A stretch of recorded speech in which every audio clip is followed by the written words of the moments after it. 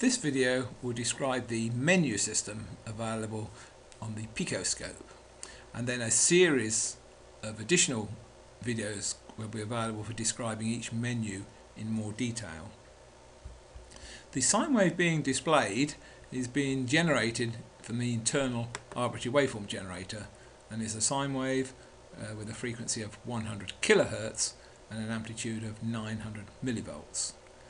The signal that has then been applied to the uh, channel A input and the uh, range control has been set to auto. So it automatically selects the best vertical range to give the best uh, vertical resolution and most accuracy for any measurement. And here in fact we can see it's selected plus or minus 1 volt. So we could then use the range control to manually set the range the menu system has been divided into three toolbars. So the third toolbar is for the channel setup. So here we can see the channel options for uh, channel A. And in fact the input is a, a, a default times 1 probe. But if for example uh, we connected a times 10 probe to the input, we could select a times 10 option and then this would automatically scale it to times 10 so the voltage values would read correct.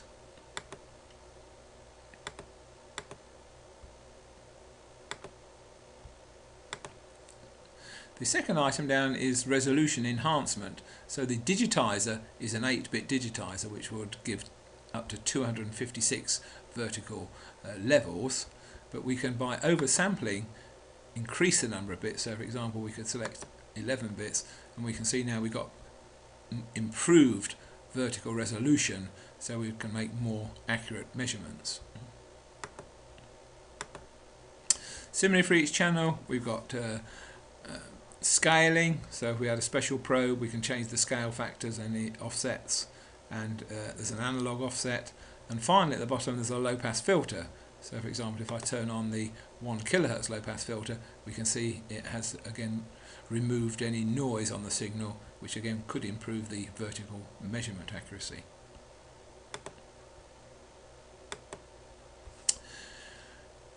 The third icon along is the coupling. So at the moment we've got DC coupling, so we can go to AC. If we've got uh, any DC content on the signal, that would remove that.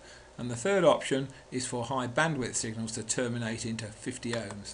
So if I select that in this case, it will halve the amplitude of the signal because it's coming from a 50 ohm source. The next set of icons along are for the additional channel. So this is a four channel instrument, so we've got channels B, C and D available. So I'll turn on uh, channel B and give it a range control of plus or minus 1 volt. And here we see now channel B is being displayed with its scale factors on the right hand side. In fact we can see the signal, it's the same signal but it's been passed through a low pass filter so it's been attenuated. So I'm going to increase the range control 100 millivolts. So now we can see it in more detail.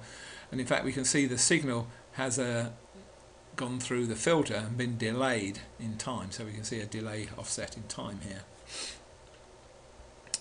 Moving to the main menu bar along the top, this is a Windows pop-down uh, menu system. So if we select file, for example, it gives a very window type pop-down. Here we can open uh, either waveforms that have been saved or any uh, instrument setups. And similarly, we can save waveforms and save setups. So, for example, if uh, two engineers use that particular instrument, they could both have their own different um, setup um, available to be loaded. And as a special option, there's a power up uh, setting. So again, if an instrument is used in uh, one application, it can power up in a uh, chosen set of settings. So you can uh, save the settings and then it will automatically power up into that uh, front panel setup. Uh, the third item is a, uh, a, a, default reset. There is a printer available, so we can do a print preview and then we can print the screen image to any uh, printer. The second icon along is the edit menu and here we can copy uh, screen images or text to any Windows application. So for example we could copy this uh, image to uh, Paint and then it could be saved or we could copy the uh, voltage values as text to, for example, Excel, and again we could save that data. The third menu along is the uh, Views menu, and here we can add and remove uh, views from the display. So the uh, current display is the uh, scope display, which is the standard uh, amplitude against time. The second option is the spectrum, where we can produce a FFT waveform, and that would display frequency against amplitude. And the third option is the XY, and I'll go ahead and select that, and we can see the effect. It opens a second panel, and this is channel A versus channel B, uh, displayed as a, an XY display. If we want to remove any particular panel, we can select the panel and then in the Views menu we can select Close and that will remove that particular uh, display panel.